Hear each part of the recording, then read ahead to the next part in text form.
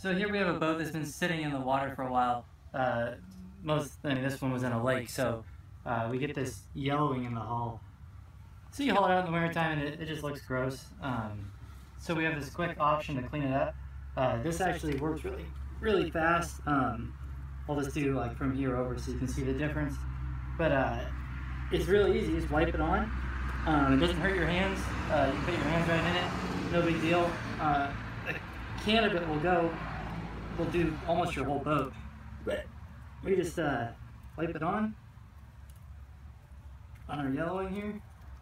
Then we just have to wait a few minutes, and it will just start to whiten right up for us.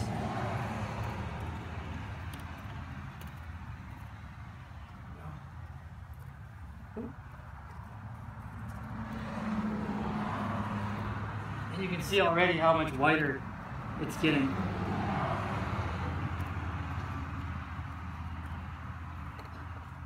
And when we're done, uh, we'll just hose it off with a hose and wash it with just soap and water, and um, and it will be good to go again. But uh, this is a, you know, this is not a permanent solution. Next year I'll have it again, but it's just quick and easy, and it comes out great. And it just removes stains from your hull. We can see already how much whiter we are, and it just the longer it sits, it gets you know a little bit whiter, and uh, usually just let it sit for, you know, do the boat, and then come back, wash it off, and it'll all be all be new and white again. So here we have a boat that's been sitting in the water for a while. Uh,